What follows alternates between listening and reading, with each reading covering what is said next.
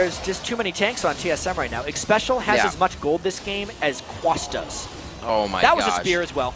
Coming and going for the fight. Oddone goes for the vault breaker to the assault and battery again into Saintvicious. The box goes down, but everybody's coloring outside the lines on this one. Dominates going down to the fight now. Comp is the focus. The fadeaway calling ace in the hole. They're going to follow him to the fountain, but he finds solace there on the back. So, oh my God!